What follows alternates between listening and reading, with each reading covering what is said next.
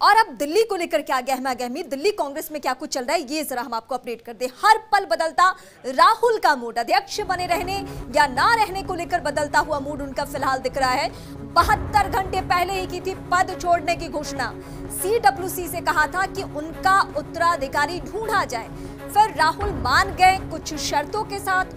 कांग्रेस के कामकाज में उन्हें पूरी आज़ादी देने की शर्तों के साथ वो मान चुके हैं। इसके बाद आज सुबह फिर बदला राहुल का मूड और एक बार फिर से उन्होंने इस्तीफे की पेशकश की और फिर से अड़ गए इस्तीफा देने को लेकर।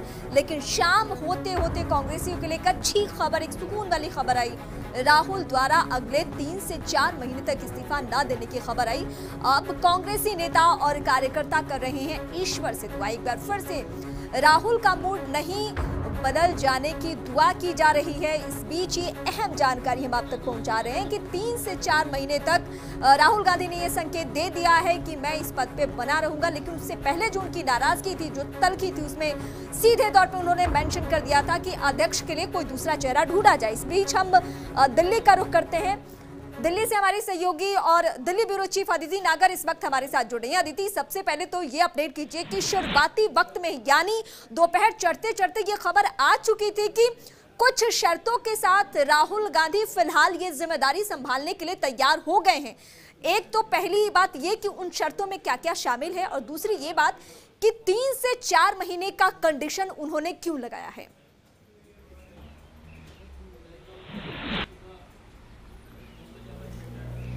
रीमा सबसे पहले तो मैं ये कहना चाहूँगी कि जो हमारे दर्शक हैं और देखिए सब ये देखिए दिल्ली में अगर दो ही खबरें हैं पहली मंत्रिमंडल का चेहरा कौन होगा दूसरा राहुल गांधी क्या चाहते हैं और कांग्रेस किस दिशा में जाएगी।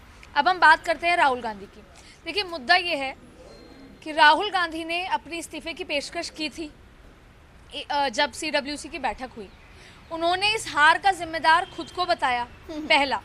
दूसरा आपको बताएँगे कि दूसरी बात उन्होंने ये भी कही कि यहाँ पर मुझे ग्राउंड रियलिटी बताई नहीं गई।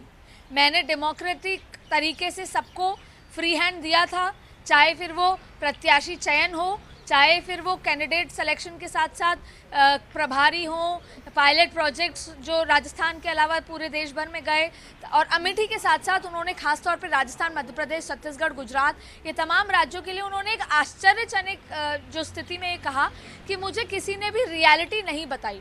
किसी एक व्यक्ति ने उनको ये भी कहा कि विधानसभा चुनाव में टिकट वितरण ढंग से नहीं हुआ इसलिए नाराज़गी थी और उसका ही रिज़ल्ट है। तमाम इन बातों के बीच में ये बात सही है कि राहुल गांधी सबसे बड़ा फेलियर खुद का बता रहे हैं। अब जो बाकी सीडब्ल्यूसी के सदस्य हैं उन्होंने एक रेजोल्यूशन पास किया था। उस रेजोल्यूशन में अगर हम समझें कि कांग्रेस का जो कॉन्स्टिट्यूशन है उसमें कोई भी पॉलिसी चेंजेस होता है या स्ट्रक्चर चेंज होता है तो वो सीडब्ल्यूसी उसका फैसला लेती है। लेकिन यहाँ पे पूरी सीडब्ल्यूसी ने अपनी पूरी पावर्स लीगली राहुल गांधी को दी उस सीडब्ल्यूसी की बैठक में। और कहा कि आप ज़ीरो से लेकर ऊपर तक क्योंकि राहुल गांधी के मन में ये भी बात थी कि जब मैं राष्ट्रीय अध्यक्ष पद पे आया तो कोई संगठन में बड़े बदलाव नहीं हुए। सोनिया गांधी की टीम ही काम कर रही थी। और कहीं ना कहीं राहुल के मन में ये भी बात है कि मेरी स्पीड के साथ वो मैच नहीं कर पाए।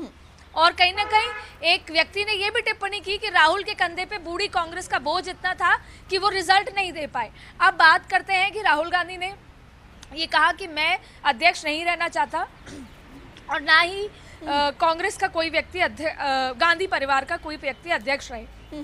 लेकिन अब सवाल ये है कि जितने भी गठबंधन क्योंकि अभी राहुल राहुल की तरफ़ फैसला नहीं ले सकते। राहुल प्रिंसिपली देश के विपक्ष के नेता हैं। बिल्कुल। तो उनको कांग्रेस का अध्यक्ष राष्ट्रीय अध्यक्ष के साथ साथ विपक्ष के नेता के तौर पे भी ये डिसीज़न लेना होगा। तो यहाँ पर राहुल गांधी ने के जो व्यक्ति है तमाम जो पूरा सीडब्ल्यूसी हम्म। है उन्होंने विपक्ष से बात की। तो लालू प्रसाद यादव से लेकर तमाम लोगों ने कहा कि अगर नरेंद्र मोदी पर आज कोई टक्कर दे सकता है देश में तो वो राहुल गांधी है।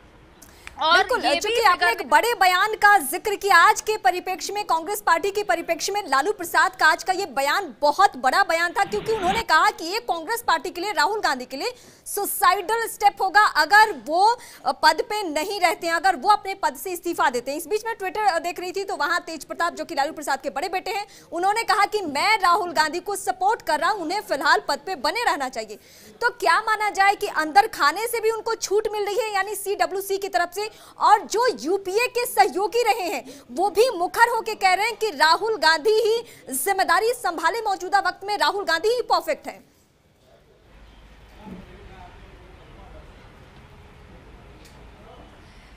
रीमा देखिए ज़ाहिर तौर पे तमाम विपक्ष है वो एकजुट होकर कह रहा है कि राहुल के अलावा नरेंद्र मोदी को टक्कर कोई नहीं दे सकता।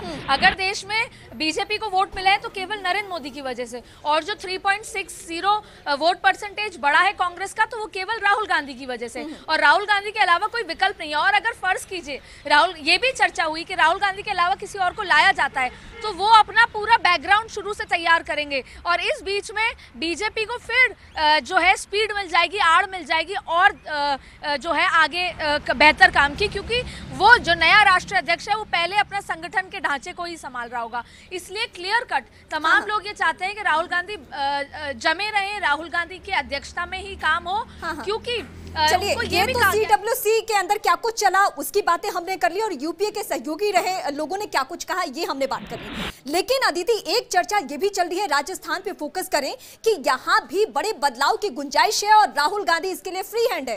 कई नामों की चर्चा भी चलने लगी है। तो दिल्ली में राजस्थान को फोकस करते हुए क्या कुछ फैसले हुए हैं, वो जरा आप यहाँ अपडेट कीजिए।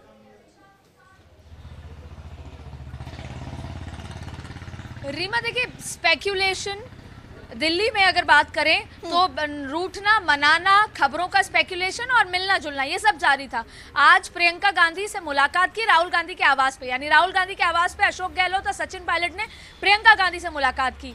और देखिए अब जहाँ पर राजस्थान में बदलाव की बात है बदलाव तो देश भर में होगा कांग्रेस की हम्म। पूरी संगठन में चाहे फिर वो क्योंकि राहुल गांधी नाराज़ है। और ये बात सच है कि राहुल गांधी कमलनाथ से भी नाराज़ है तो राहुल गांधी ज्योतिरादित्य सिंधिया से भी नाराज़ है तो अशोक गहलोत से भी नाराज़ है तो सचिन पायलट से भी और हर उस व्यक्ति से जिसने उनको सही फीडबैक नहीं दिया। और अविनाश पांडे से भी बात कही जा रही है कि प्रभारी से नाराज़ हैं। और कई बड़े बदलाव देखने को मिलेंगे। इसमें देखिए आज सचिन पायलट की मुलाकात नहीं हो पाई। हालाँकि पिछले गत दिनों में चार दिनों के बीच में सचिन पायलट ने मनमोहन सिंह अहमद पटेल और तमाम बड़े दिग्गजों से यहाँ पर ए के एंटनी और और भी लोगों से मुलाकात की। वहीं अशोक गहलोत ने ही मुलाकात की। ये बात सच है कि all is not well in Rajasthan Congress और कुछ बदलाव देखने को नज़र आएँगे और ज़ाहिर तौर पर यहाँ पर अब वो रेस है कि कौन कहाँ पर पहुँचे। हम्म। लेकिन फ़िलहाल राहुल गांधी से ना अशोक गहलोत की मुलाकात हुई ना सचिन पायलट की मुलाकात। मुलाकात हुई। चलिए कांग्रेस पार्टी